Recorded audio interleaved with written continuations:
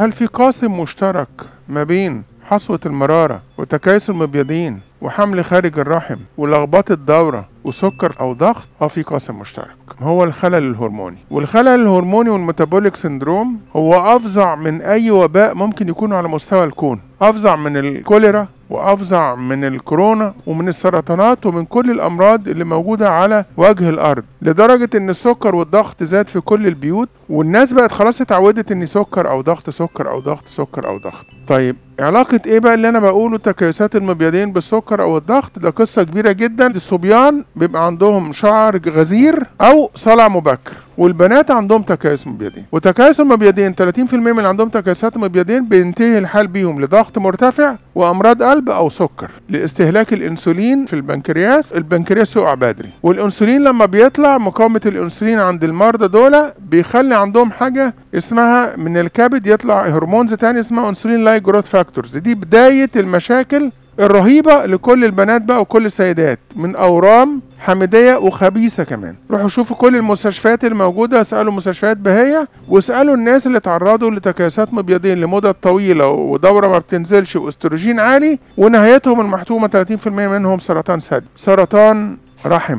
وسرطان بروستاتا عند الولاد للأمهات اللي عندهم سكر أو ضغط. هل ممكن الراجل يجيله تكيسات مبيضين زي المرأة اللي جالها تكيسات مبيضين آه بالفعل بيحصل. بس اسمه analogue لل PCO. يعني عشان هو ما عندوش مبيضين ولكن التغيرات اللي بتتم عليه ككليا هي نفس التغيرات اللي بتتم على المرأة اللي عندها تكيس مبيضين شعر زايد؟ آه عنده شعر زايد وهرمون ذكورة أزيد. الراجل ده عنده استعداد أكتر للزهايمر وعنده استعداد أكتر لأمراض القلب. طيب إيه علاقة بقى تكيسات المبيضين بال habitual abortion وبال ectopic pregnancy؟ ده اللي عاوزين نشد الانتباه فيه. عشان يحصل حمل خارج الرحم هو أصلا الحمل لما بيحصل هو خارج الرحم في أنبوبة فالوب طب إيه اللي بيخلي الحمل يمسك في الأنبوبة؟ يا إما حاجة في الأنبوبة يا حاجة في الجنين. يا الأنبوبة طويلة أزيد من الطبيعي وبالتالي المسافة اللي بيمشي فيها البويضة وكانت الأنبوبة طويلة جدا لدرجة إن حصل الانقسامات دي كلها وحصل ال morula طلعت وبدأ يحصل implantation وانغماس فراح منغمس في الأنبوبة. أو متعرجة فيها التصاقات. فعقبال ما طلع الجنين منحدرات ونزل تاني مرتفعات وطلع ونازل ما كانش قدر يخلص الأنبوبة. أو الأنبوبة فيها التصاقات بشكل معين أو التهابات بشكل معين فلزق جوه في الإفرازات والالتصاقات. يا إما بقى إن الجنين ده بيحصل له فأس بدري وده بيحصل مع الناس اللي عندهم تكيس مبيضين وبالتالي يحصل الحمل خارج الرحم. محدش يعرف كتير جدا إن تكيسات المبيضين ليها علاقة وثيقة بالحمل خارج الرحم. محدش يعرف كتير قوي قوي قوي من تكيسات المبيضين الأطفال اللي عندهم شفه أرنبية خصيه معلقة.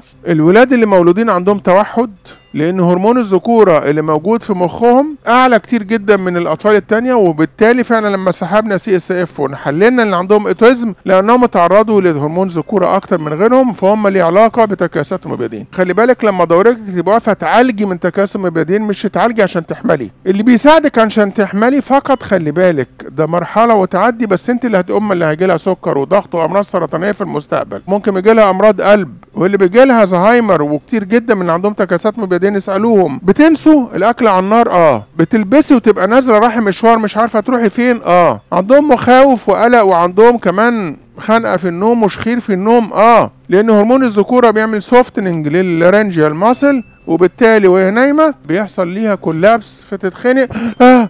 تقوم مفزوعة عشان تاخد شوية أكسجين ويخشوا تاني. أحيانا بنعدي كلمة الشخير في النوم ده عادي والشخير في النوم ده مقدمة لأمراض القلب سواء عند راجل أو عند ست. بيعلمونا إن تكيسات المبيضين ملهاش علاج. كل الأمراض المزمنة ليها نسبة recurrence rate موجودة ولكن بتتوقف على إيه نوع العلاج وإيه شكل العلاج وبدأنا العلاج إزاي وحطينا إيه الخطة. المرض اللي في جسمك عايز إنك تصاحبيه طول العمر مفيش حاجة اسمها أنا زهقت أنا مليت. إيه الأكل والشرب اللي يلقلك والبيئة اللي تلقلك خلي بالك. هتخسري والله لما اتعلمتي وفهمتي. المرض رهيب قوي والمفروض ناخد بالنا منه. ولما دورتك تقف عالجي دورتك اللي وقفت مش تنزلي دورتك. وناخد بالنا من نظام غذائنا وأكلنا وشربنا. التغذيه العلاجية كله بيتكلموا على الأكل دلوقتي لدرجة الناس كانت بتتكلم في الأول تقول لك إن الفطار أو وجبة الفطار أهم وجبة على المطلق. دلوقتي في العلم الحديث يقول لك الفطار ده ده أهم وجبة تدمر الصحة لأنك أنت صحيت بتكافئ جسمك بإيه؟ أنت لسه ما عملتش أي مجهود. عشان تصحى تفطر. المفاهيم بتتغير وبالتالي أرجوكي اتعلمي تكيس المبيضين